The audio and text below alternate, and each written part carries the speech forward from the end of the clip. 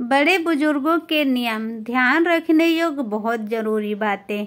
रात को सोने से पहले एक गिलास दूध में भिगोए हुए बादाम को पीस कर लेने से त्वचा में निखार आता है। प्याज का रस लगाने से मच्छों के छोटे छोटे टुकड़े होकर जड़ से गिर जाते हैं। तुलसी के पत्तों को पीस कर मलाई या दही के साथ मिलाकर चेहरे पर लगाने से त्वचा को निखार मिलता है। सौंफ के बीजों को चबाने से पेट की गैस और एसिडिटी से राहत मिलती है। गर्म पानी में नींबू का रस निचोड़कर पीने से पाचन तंत्र मज़बूत होता है और वज़न कम करने में मदद मिलती है। गुड़ को खाने से एनर्जी मिलती है और त्वचा के लिए भी अच्छा होता है। खांसी एक आम समस्या है और दादी माँ के घरेलू नुस्खे इसमें आपकी मदद कर सकते हैं। यहाँ कुछ प्रमुख दादी माँ के नुस्खे खांसी के लिए है। अदरक के टुकड़े को चबाने से खांसी में राहत मिलती है। आप इसे अदरक के रस के साथ मिलाकर भी ले सकते हैं। मुलेठी के छोटे टुकड़े चबाने से खांसी कम होती है। इसे हल्के गर्म पानी में भी भिगोकर ले सकते हैं और इस पानी को पी सकते हैं। गर्म पानी में नींबू का रस और शहद मिलाकर पीने से खांसी से राहत मिलती है। अदरक, तुलसी, इलायची और लौंग को चाय में मिलाकर पीने से खांसी कम हो सकती है। हल्दी को गर्म दूध में मिलाकर पीने से गले की खांसी में आराम मिलता है। गर्म पानी में थोड़ा सा नमक मिलाकर गरारा करने से खांसी में आराम मिलता है।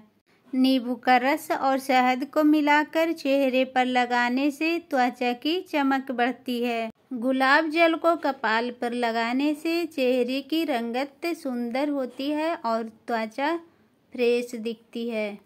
तुलसी के पत्तों को पीसकर मलाई या दही के साथ मिलाकर चेहरे पर लगाने से त्वचा को निखार मिलता है। आलू को पीसकर पेस्ट बनाएँ और इसे चेहरे पर लगाएँ।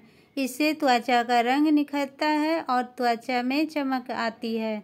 शहद और दही को मिलाकर चेहरे पर लगाने से त्वचा की चमक बढ़ती है और सुपलेक्षित होती है। हल्दी और चना आटा को गुलाब जल के साथ मिलाकर पेस्ट बनाएँ और इसे चेहरे पर लगाएँ। इससे त्वचा में निखार आता है। सूखे तेजपान के पत्तों को बारीक पीसकर हर तीसरे दिन एक बार मंजन करने से दांत चमकने लगते हैं। हिचकी चलती हो तो एक दो चम्मच ताज़ा, शुद्ध घी गरम कर सेवन करें।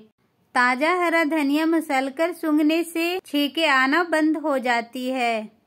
यदि नींद न आने की शिकायत है तो रात्रि में सोते समय तलबों पर सरसों का तेल लगाएँ।